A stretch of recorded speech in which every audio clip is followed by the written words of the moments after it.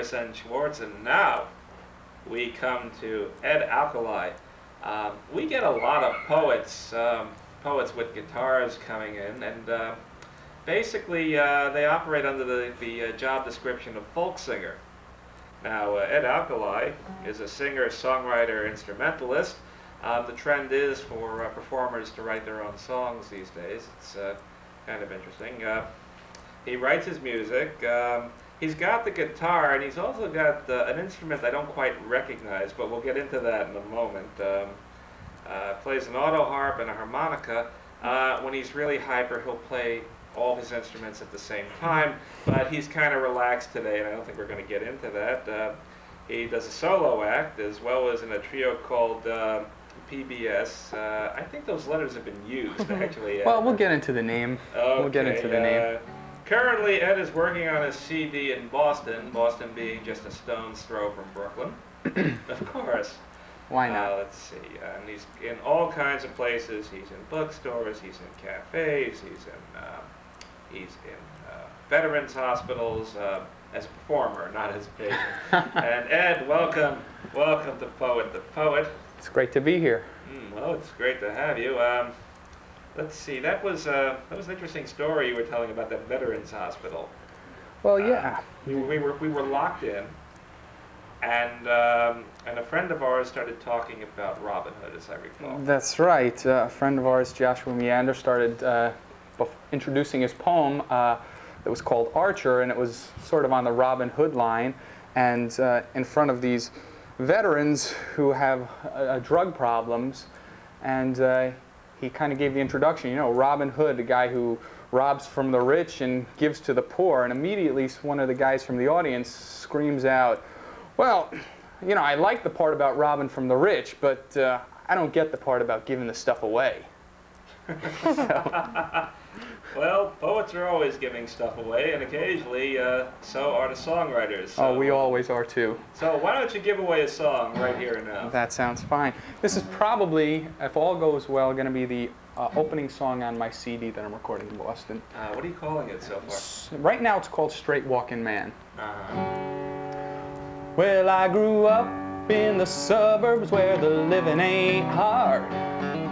The dreams come easy if you don't dream too far. You can make lots of money, you can drive fancy cars, and you can work like the devil to just stay where you are and be a straight walking, straight talking, straight shooting man.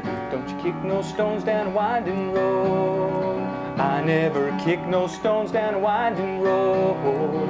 I never kick no stones down a winding road. I'm just a straight walking man.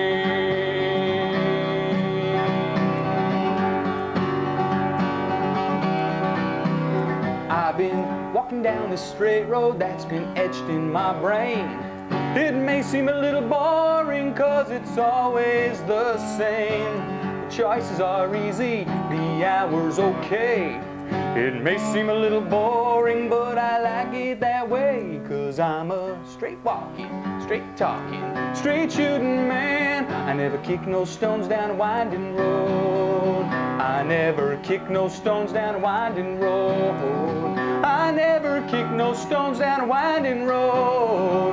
I'm just a straight talking man.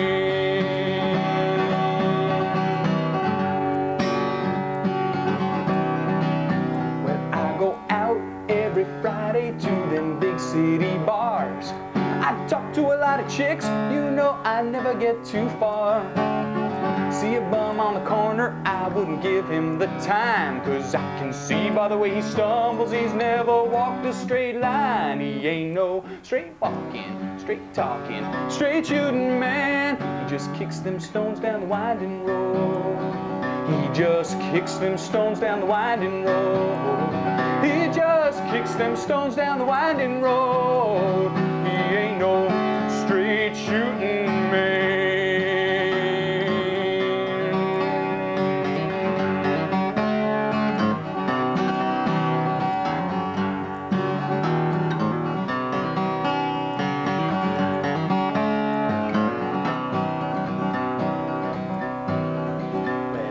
Myself getting older cause I've never been young. Can't see myself getting wiser, I've never been dumb. Can't see myself injured cause I've never been stung.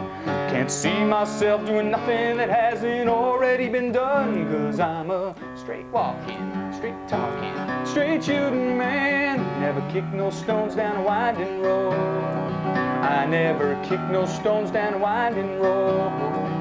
I never kick no stones down a winding road. I'm just a straight walking man.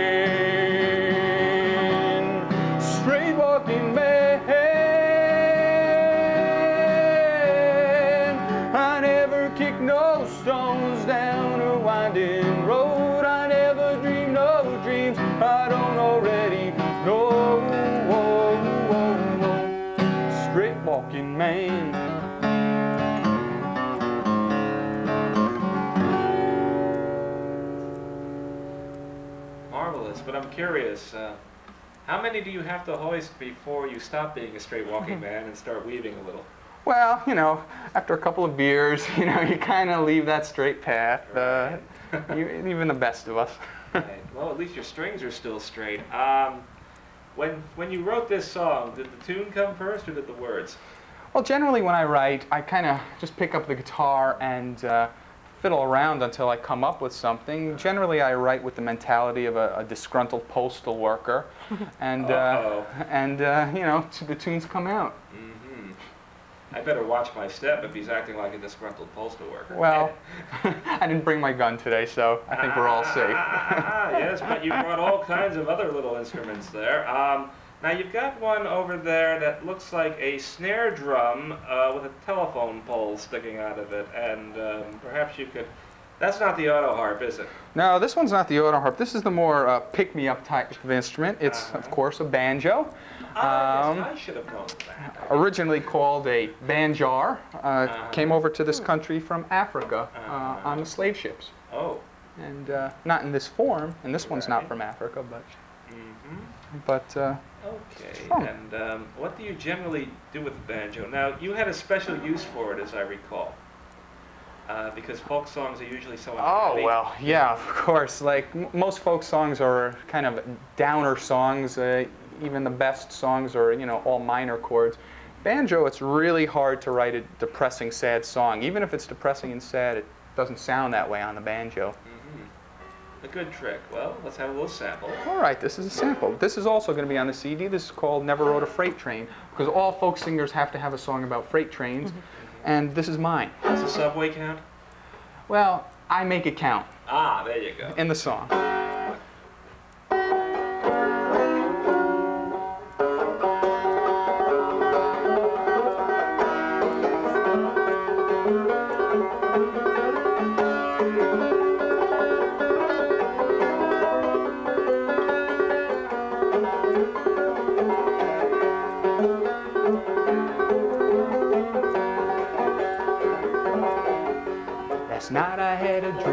Was rolling across the land. Last night I had a dream I was rolling across the land. On a freight train like a hobo holding Woody Guthrie's hand. Although I never rode a train and I never knew that man. And now as I stumble along these city streets, now as I stumble along these city streets, my body numb from drinking, my eyes too tired to see. I'm like a runaway train in a runaway dream. And though I never rode a freight train and I never knew the feel of the hobos and the gamblers and the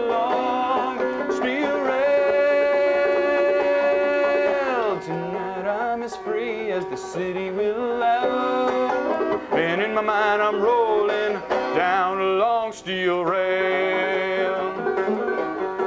I pass a couple winos down on 42nd Street. Pass a couple winos down on 42nd Street. Drinking from one bottle, huddled by the heat of a fire made of trash and a bottle made of dreams. Wino shouts out, Mister, got some money you could spare. One wino shouts out, Mister, got some money you could spare.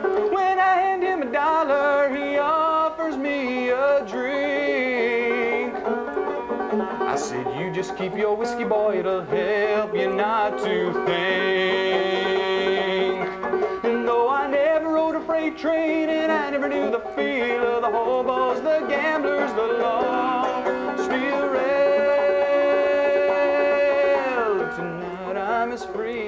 city allow. And in my mind I'm rolling down long steel rail. My head started spinning, so I closed my weary eyes. When I opened them again for the first time in my life, I gazed up at the stars shining in the night. And the city disappeared into the prairie in my mind. There two laughing hobos sitting by my side, singing songs, picking guitars, drinking whiskey, telling lies. And though it wasn't quite music, it sounded so sweet. And we danced like fragile angels on that broken melody.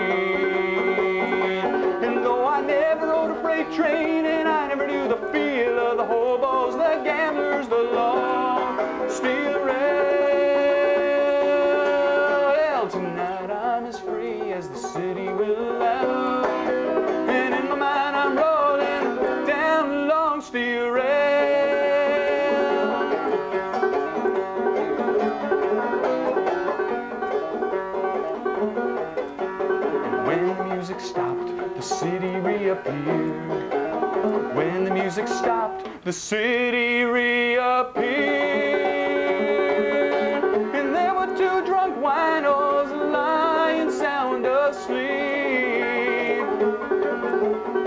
smiles on their faces like they danced in their dreams.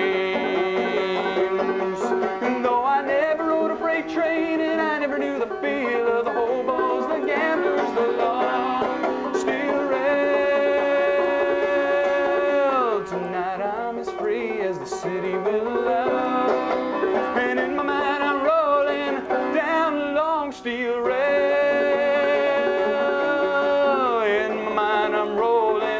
down the long steel rail.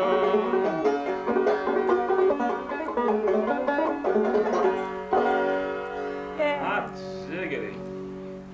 Iris, I think you and I better get into training after a song like that. I have no witty comeback. I'm sorry. I'm oh, off track. I'm, I'm, I'm, I'm disappointed. If, well, it'll give us something to chew chew on, I suppose. That's, As long as we don't derail. I would certainly hope not. Ed, did you start with the banjo when you started getting into music, or was it the guitar that attracted you, or was it the money? Well, no, no. Growing up, I was, you know, a, a, quite ugly uh, youth, and so it was trying to win the women over with the music. So, but I started with the guitar. And the guitar And, uh, got more dates than you did, because that's what happened to me. Unfortunately. um, that last song I just played is one of the songs I play in the trio uh, PBS. We're looking for a new name, by the way, Uh-huh. um, because it's. Uh, Okay, Three letters well, are taken. we'll have people write in. Maybe we'll have a contest. okay. Anyway, uh, Ed Alkalay, thanks for being on Poet to Poet. Thank you Iris very and much. Schwartz, thanks for being on Poet to Poet too. I'm going Thank to you. slip in a quick haiku called Neighborly, ain't I? Irate, I called the cemetery next door to gripe about the noise. Well, haikus make you think, you know. Uh, here's another one. Vintage irregardless. Novocaine makes a dentist chair worthwhile. I ask for a doggy bag. Anyway, that's a, quite enough of that. We're going to fade out with a little extra banjo work here by, by Ed, while I, uh, I thank our guests, Ed and Iris, once again, and also uh, Sam and Fran Schloss of uh, Samuel's International uh, Art Galleries. Play that thing, Ed. Here on Avenue X in Sheepshead Bay.